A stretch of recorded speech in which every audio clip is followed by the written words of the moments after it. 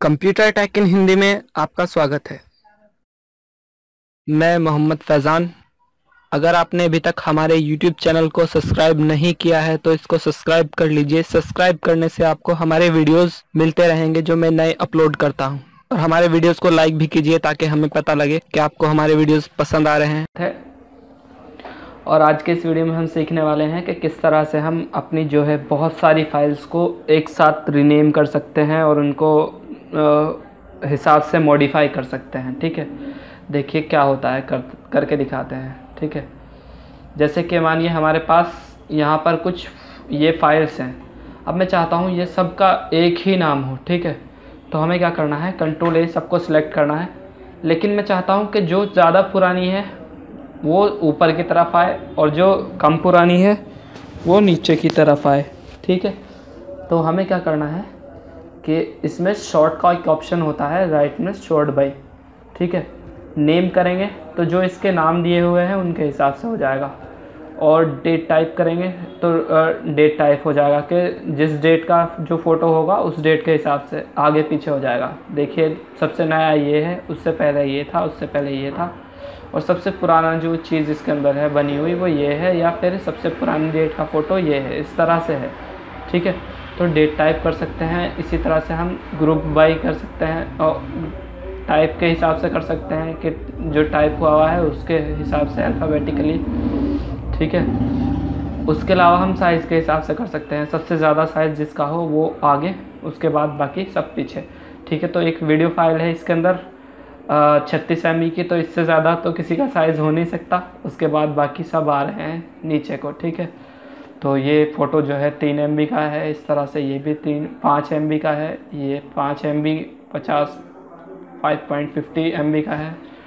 तो इस तरह से ये अकॉर्डिंग टू साइज़ हो गए हैं। तो अगर हमने कोई फाइल्स डाल रखी हैं, बहुत सारी, हम चाहते हैं कि डेट के हिसाब से हो कि मैंने कौन सी डेट में कौन सी फ़ाइल बनाई थी, उसके हिसाब से हो तो उसको डेट वाइज कर लेंगे इस तरह से। और उसके बाद सबको कंट्रोल ए करेंगे और सबको एक साथ रीनेम करेंगे। रीनेम कंट्रोल ए करके रीनेम करेंगे। सब, पहली वाली फ़ाइल के ऊपर आकर ही रीनेम करना है। अगर बीच वाली पर आकर करेंगे तो यहाँ से नीचे तक जाएगा नंबर और उसके बाद ऊपर वाली पर आएँगे, ठीक है?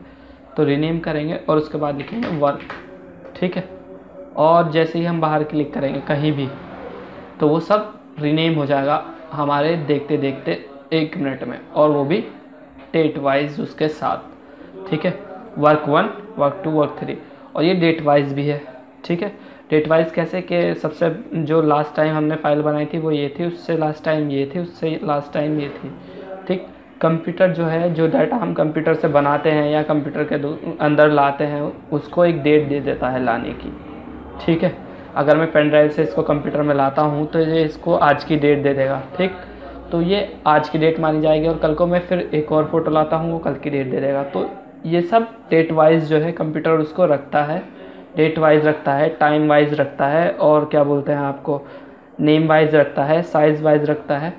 तो इस तरह से हम कंप्यूटर की सारी फाइल्स को एक साथ रीनेम कर सकते हैं। देखिए कितनी आसानी से इसने सबको रीनेम कर दिया है, ठीक है? तो इस तरह से हम कर सकते हैं। कैसे?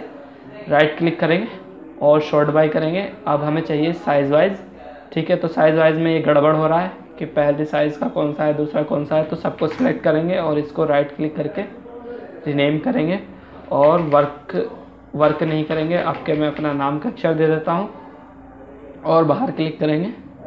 तो ये आसानी से सब पर नंबर डल गए हैं और इससे अब हमें ये भी पहचान हो जाएगी कि ये जो है, ये सबसे बड़ा है, ये उससे कम है, ये उससे कम है, ये उससे कम है। ठीक है, इससे पहले चवालीस फ़ाइल और हैं जो इससे बड़े साइज़ की है। इस तरह से हम अंदाज़ा लगा सकते हैं। ठीक है, ठीक इस तरह से कर सकते हैं। चलिए मिलते हैं आपसे नेक्स्ट वीडियो में, उसमें हम कुछ और इंटरेस्टिंग पढ़ेंगे। आज